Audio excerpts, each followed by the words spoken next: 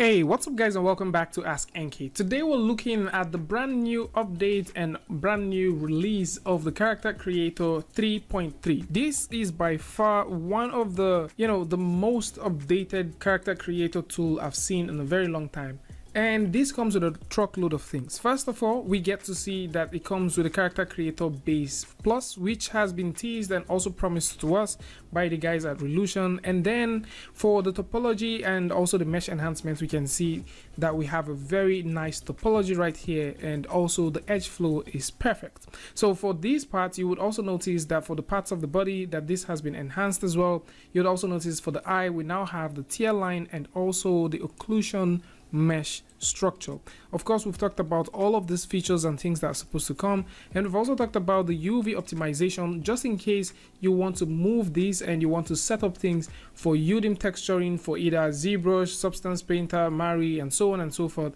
That right now you can actually get these things out of Character Creator fully optimized as all you need to do is just throw it over to you know whatever texturing app you want and get things up and running other cool things that you can also find here is they have also gone ahead to optimize how details are applied. So we've talked about detailing and also all this stuff previously, and it's very interesting to see that you can tell that the UV map for this character creator base plus and also the UV map for the character creator base are totally totally different if you scroll all the way down you would also notice that there are certain improvements which we're going to talk about soon that consist of skin and makeup and Speaking about the skin and makeup, we did talk about the teaser that was released some time ago about the skin generator that is presumably supposed to come to Character Creator 3. And today we are having that, and of course, we're going to talk about these things.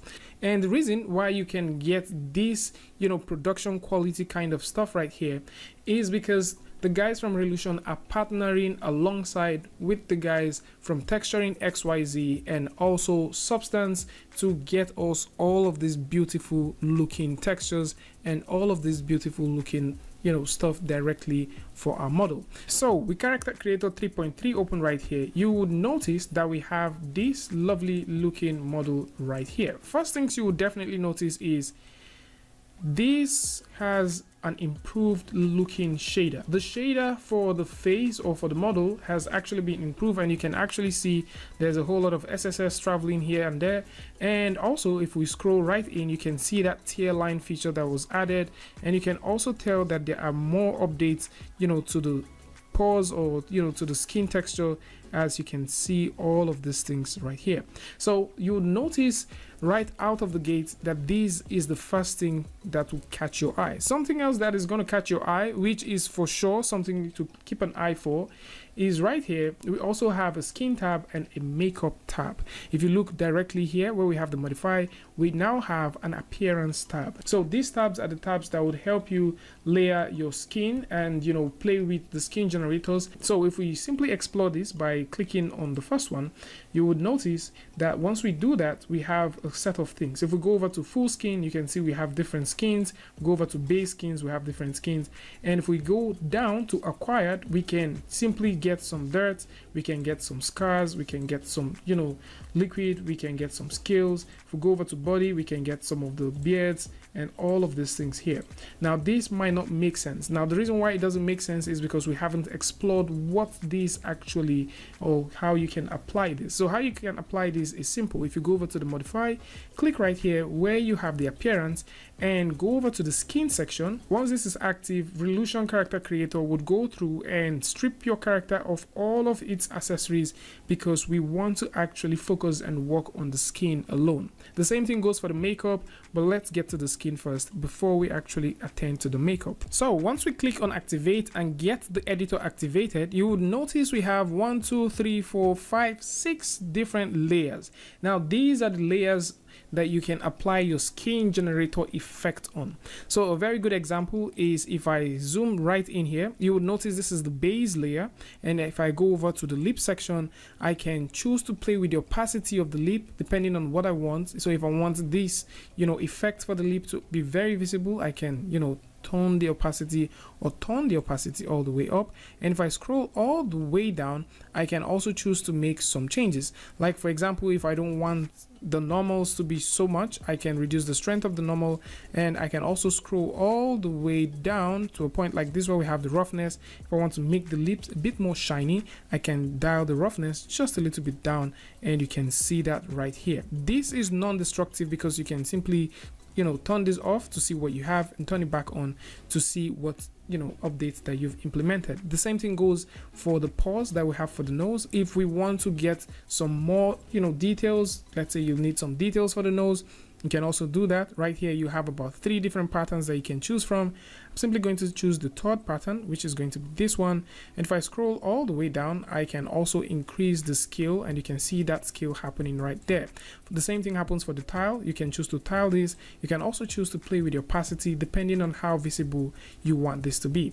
So if you want this to be extremely extremely visible if you go all the way down to where you have your normals you can also play with the normal strength just to get this thing and you can choose to invert this and also revert it to get your normals so depending on what you want to get this makes sense. So you can go to this section where you have your skin and play with all of the skin features right here and apply the skin features to get something. If I need some freckles on my character all I need to do is just simply double click and this would automatically add an extra level or an extra layer right here which we are going to see as freckles. And if I zoom right over to our character we can choose to play with the opacity or you know reduce the opacity. And of course we can also play with some of these other features like the scale and get things where we want them to be in the first place. So now that we've defined and now that we know how this works how does this work with things like you know for example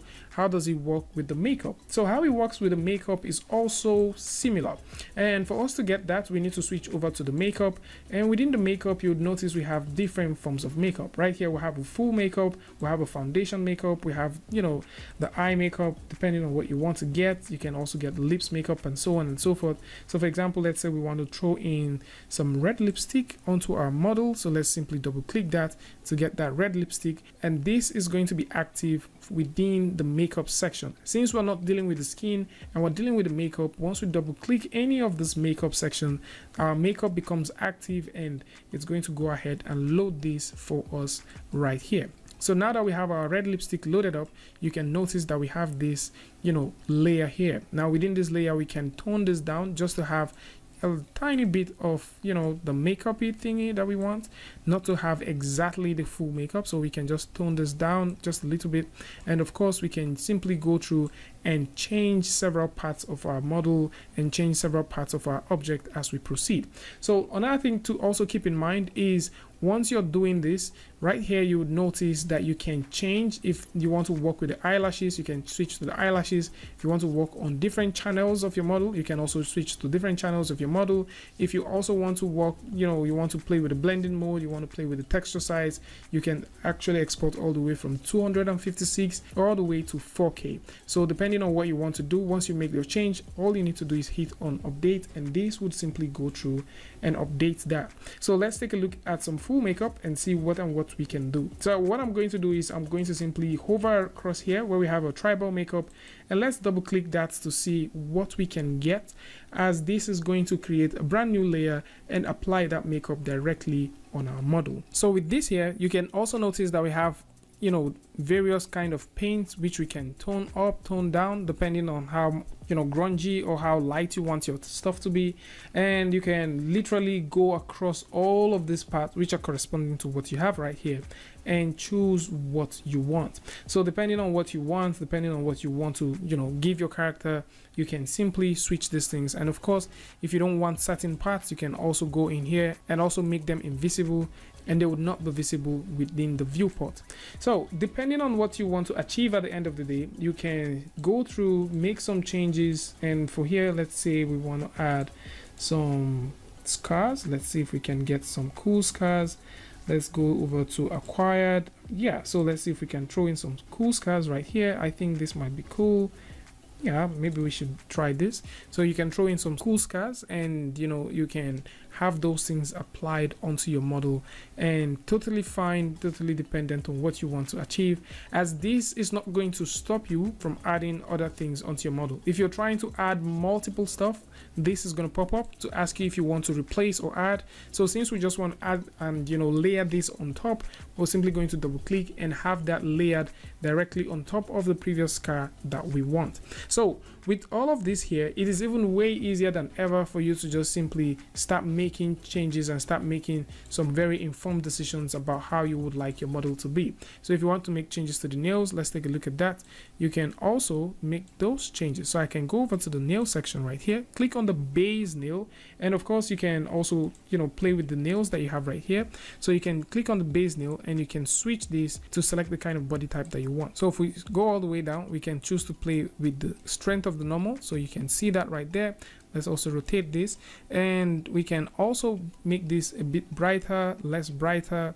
And you know we can make any kind of change that we want right here. Or maybe you can just go ahead and double click the manicure thingy and get that manicure applied directly onto your model this way. So how you can go back is very simple. So all you need to do is just deactivate the skin editor and you would now notice that you have all of your stuff here and your characters you know clothing is also here. For the substance stuff once you go over to outfit and you start making changes to your character's outfit and you know by clicking on activate appearance editor you can start using the substance feature that you have right here to start making those changes directly onto your model. So it's very interesting to see that the guys at Reallusion actually kept to their promise as this by default is no way a render this is directly on your viewport and you can see it has that visual fidelity once you're looking at it. And you know if you want to rig this of course you can simply use these tools that